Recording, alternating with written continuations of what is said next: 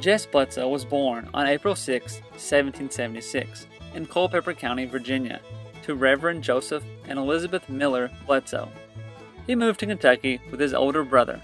They traveled through the Cumberland Gap with a Baptist congregation. He studied at Transylvania University in Lexington, where he was a prestigious student.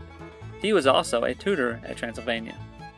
He was admitted to the bar in 1800 and became friends with Henry Clay. He had a very successful political career. He was a Democratic Republican. He was a representative for Bourbon and Fayette County in the Kentucky General Assembly. He became the Secretary of State from 1808 to 1812. He was a member of the U.S. Senate in 1813, but resigned the following year in 1814. He was elected to the Kentucky State Senate and served from 1817 to 1820.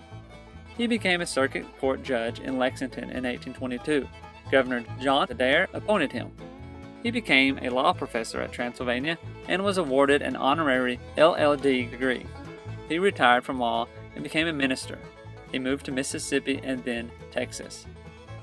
He died on June 25, 1836.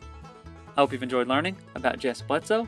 He was a politician for Kentucky, and even though he is lost to history, he had a major influence on a lot of important Kentucky figures, including Henry Clay.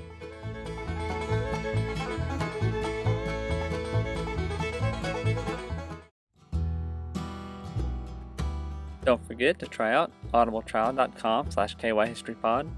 If you'd like to support the channel, check out patreon.com slash kyhistorypod.